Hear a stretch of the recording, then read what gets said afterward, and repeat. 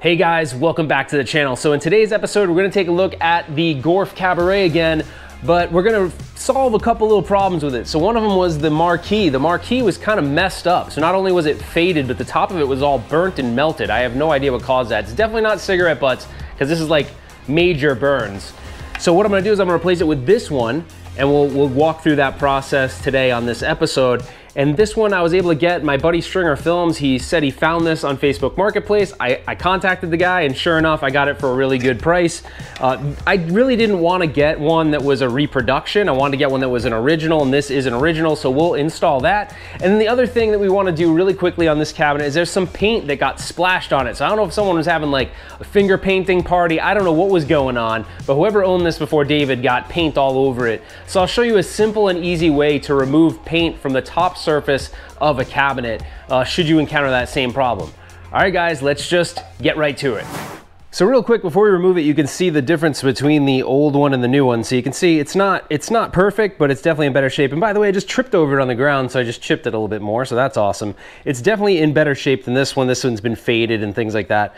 So we're gonna get this one off. So to do that, it's pretty simple. There's just some screws we gotta unscrew right here. We just gotta go with this guy these screws have a bunch of, um, they're a bunch of rust on them. So what I like to do with these is I just take a little piece of sandpaper and I just sand the top of the screw so it looks brand new again. Little, you know, kind of a basic, basic trick, nothing crazy, but it does help. So I'm gonna just finish unscrewing these. Oh, the screw ran away from me. And then we should be able to just get this off. Now, I am curious what caused this to melt, so we'll see. Maybe the light is pressed up against it. I'm not sure, but we're about to find out. Okay, definitely not. So I have no idea how this happened, but check this thing out. Look how melted the thing is. Like, it's no joke. That is not good. That's bad, man. It's really bad. Look at it. So we're gonna put the new one on right now. All right, I put the old one on the ground. We got the new one here. I'll get that other screw in a second, but it should fit nicely. Oh my gosh, that looks so much better than the other one.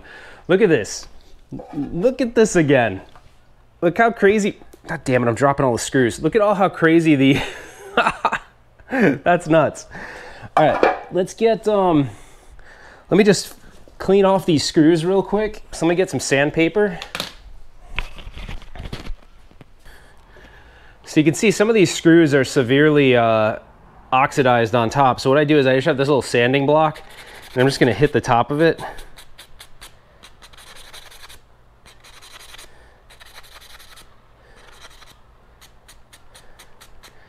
just lightly. I should be able to get some of this off. Thing is, I think I think if I do that with these, see they're black. So you know what? Actually, forget about it. I don't want them to be chrome, so we're not going to do that. We'll leave them rusted for now. I'm going to be lazy, and uh, we'll. Um, I thought I thought for some reason I could do it without it shining through, but it's going to shine through chrome, and I don't want that. So all right, we can go back at a later date, and we can actually paint. You know, sand them all, sand them nice, and then just kind of hit them with, a, with some paint or we could just get new ones completely if we wanted to. But this already looks so much better, so I'm pretty happy with the way this this looks. And you know, this cabinet's gonna have, I'm gonna, I'm being a little lazy with it right now. I'm probably gonna put more new T-molding on it and get it cleaned up a little bit more. But for now, just to kind of fix a couple of these little problems, because in, in, in actuality, this probably is gonna need a new, new side paneling. So they sell paneling that, um, that looks like this, but if I can clean it up, I'd rather clean it up and keep it original for as long as I can, and then we'll worry about that later. Down the road, it could be a, like a longer term restoration project. But I think after it gets cleaned up, it'll look really nice, even though it's got some flaws. Okay, that one's not, that one's not liking me. Let's see. You gotta be careful with these acrylic things because you don't wanna, you don't want to crank it down so hard that you crack the acrylic, so just be careful when you crank these back down. But it looks good so far. Definitely looks a hell of a lot better than it did, that's for sure. And then make sure you don't have your screw gun torqued too hard here because it'll it'll crack this like I said. So when it gets to the end, we'll just sort of hand screw them in. But man, it looks so much better than it did. I'm stoked.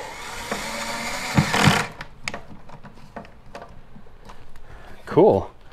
yeah, looks pretty good, right? I think this looks nice. All right, let's fire it up and see how it looks lit.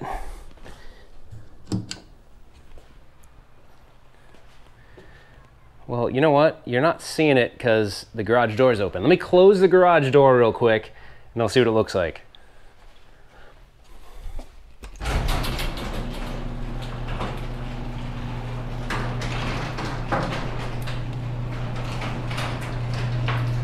About to get really dark in here.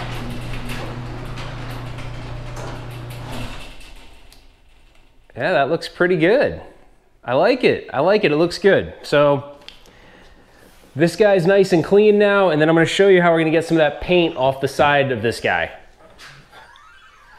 Okay, so you can see right here that there's a bunch of paint on here, right? I have no idea how it got here, but what you use is you take like a citrus strip, okay? You can get this at any hardware store. You can usually get it at Ace. You can get it at, you know, Lowe's, Home Depot, whatever. And this is good for stripping paint, but keep in mind, it's got a laminate. I'm gonna shut the game off real quick. It's got laminate, so it's not gonna damage the laminate. It's just gonna pull the paint off of the laminate surface. So if you had, if you put citrus strip on a painted surface, it's gonna lift the paint up. So that could be useful if you buy a game and someone's painted over it and you think there might be artwork underneath, you could use citrus strip to get that up. But anyways, what I'm gonna do is I, unfortunately I can't find any of my rags. I have no idea why, but I'm gonna spray this on. And actually I was having problems with this bottle. In Arizona, everything dries up and it ruins everything.